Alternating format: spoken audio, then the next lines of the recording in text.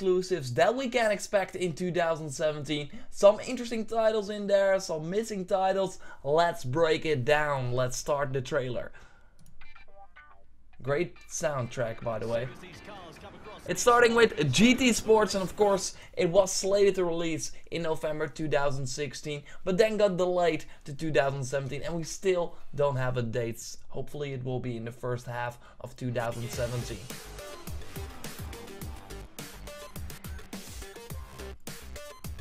Hellblade, of course, this game from Ninja Theory, and it looks a little bit like a Heavenly Sword.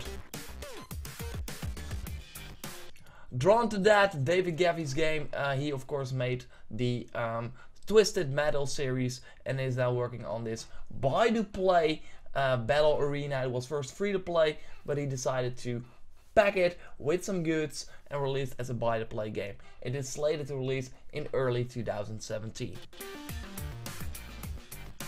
and looks pretty pretty weird, but I really like the art style. Then we have Nier. You can download the demo right now. Still haven't played it, but I heard uh, heard some good stories about it. It's of course a hack and slash. It's coming in March.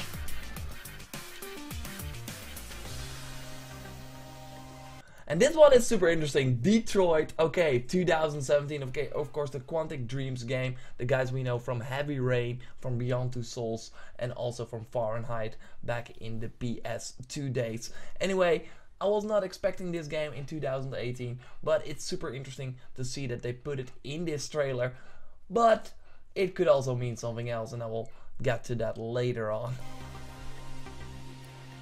So I totally think that if they are going to release it, it will probably be in October because they released Beyond Two Souls in October as well. Heavy Rain released in the early part of the year. So it might slip to 2018 as well, that's what I'm trying to say. But an October release date could also make sense because Beyond did pretty well in October. This is our story.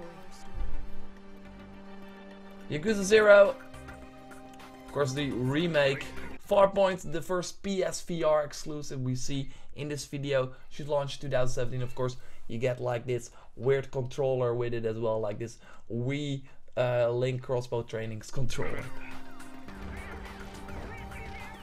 Really cool. Uncharted The Lost Legacy of course, a standalone expansion for Uncharted 4. I think it will be like $30 and it should be larger than Left Behind, of course, the previous DLC that Naughty Dog made for The Last of Us. I really think that this will be awesome. Maybe a little bit Tomb Raider style. Of course, you play with, um, yeah, you have Nadine on your side and you're, of course, Chloe from Uncharted 2 and Uncharted 3. So she was, of course, absent from Uncharted 4, so it's cool to see her have her own game.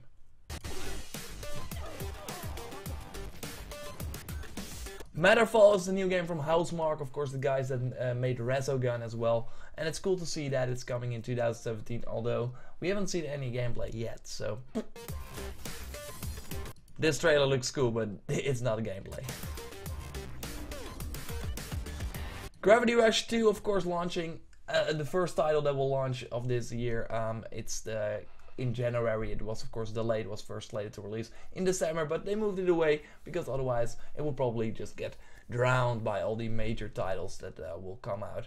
And yeah, you get some free DLC now, so that's great. There's also a demo out for this one, and I love the PS Vita version, of course, where it originally released. It released in 2016 for the PS4 as a remastered version, and now the second game is coming out as well. Looking forward to playing it. The Wipeout collection, of course, announced at the PlayStation Experience. Includes some remastered versions, some 4K versions of uh, Wipeout games we already know. Oh, what a surprise that this game is also coming out. Everybody's golf. Dreams, this is interesting course, Media Molecule's game, uh, the guys that made Little Big Planet 1, Little Big Planet 2, and A Tearaway, Little Big Planet 3 was made by another studio. Anyway, their title is like, it was going to have a beta in 2016. No, no, they postponed that. So uh, now we will see the game in 2017, at least according to this trailer. I still believe that it will hit in August, so they will have like a huge media blowout at E3, show the story, because we now don't know really what this game is. I mean, it's about making games, but we also want like a Sackboy character. There's no Sackboy in this game, so they need to sell it, and it will be really hard to market this way and make it a success. This is a cool game. It's a Pyre. Should be looking into that because it looks super awesome. I think it's from the creators of a Transistor. And of course Transistor also had like this art style. Correct me if I'm wrong in the comments. And of course, I'm super excited about this one. In April, we will see Persona 5, April 4th to be exact. Of course, was supposed to hit in February 14th. Sadly, we can't get it there, but yeah, they needed more time with localization and stuff like that. So take your time, release it, because I really want this new Persona game. Also coming to PS3, by the way. Nioh, this is some sort of Dark Souls type game. And there are some demos in the store, so you can check that out. Should be interesting. World of Warlords. I don't know what this game is. Looks like a weird title.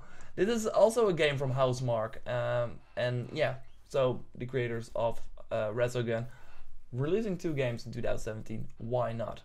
Of course, they released Alienation in 2016.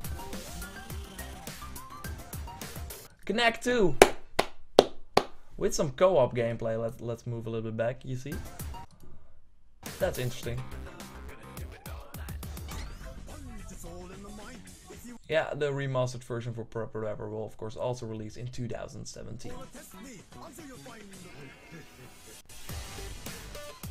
This is Starblood Arena. It's the PSVR game that was announced during the PlayStation Experience 2016. It's also an exclusive and it looks pretty awesome. And of course, last but not least, Horizon Zero Dawn launching on February 28 or March 1st in Europe, February in the US. Can't wait for that. And there you have it, the best place to play the biggest games. Um, but one interesting note, and of course also noted this while showing Detroit Become Human in the trailer, there was also a 2016 trailer for uh, the PlayStation games and no Detroit was not in there. But of course Detroit might still slip to 2018 I'm still super surprised that it's even in this trailer. Super awesome. But in the 2016 trailer that uh, Sony released a year ago we also saw Horizon Gravity Rush 2, Nier, Hellblade, Drawn to Death, and a Dreams beta for 2016. And we all know that they can't, they didn't came true. So it's like one, two, three, four, five, six uh, things that they showed in that trailer did not come out and you see the trailer right now and it's it's super interesting. Also other interesting takeaways that there was no Crash Bandicoot. The uh, Crash Bandicoot N. Sane Trilogy is of course set to launch in 2017 it will be uh, published by Activision. It will include the first the second and the third Crash Bandicoot game. Fully remastered looks amazing as you can see right now but it was not in this trailer. The another title that is absent is Days Gone. And of course Sony says that this is just a view uh, let's quote them. Here's just a few of the PS4 exclusives we have coming in 2017.